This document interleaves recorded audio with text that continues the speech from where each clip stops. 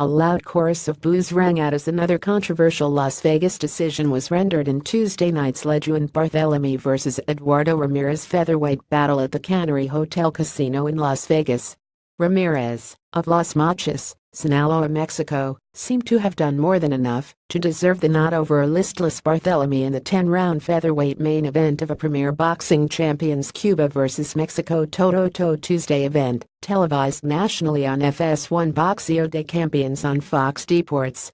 After 10 rounds of pounding and chasing the exhausted Cuban around the ring, often landing multi-punch combinations to the head and body, Ramirez and corner rightfully celebrated their well-deserved upset victory, but in Las Vegas boxing, nothing is certain, especially scoring. While Judge Glenn Trowbridge was able to pick the right winner at least, but by too tight a margin at 96-94, the other two inexplicably scored the lopsided beating Tim Cheatham 95-95 and an unbelievable 97-93 Barthelemy from Patricia Morse Jarman. This controversial scoring is the second time Las Vegas judges have made major blunders on national television in a short time, as it comes less than two weeks after the Canelo vs. Xi scoring debacle. It is also not the first time Morse Jarman has been involved in controversial and highly questionable scoring.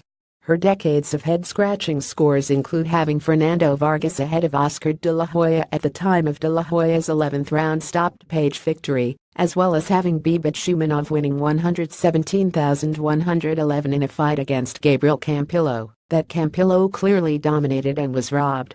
Also among her long list of missteps, Morse Jarman had Marco Antonio Barrera beating Naseem Hamed by a mere three points in a fight regarded by all except Morse Jarman as a one-sided beating. With a draw Barthelemy escapes to 1301, 7 KOs. Ramirez undeservedly sinks to 2003, 7 KOs.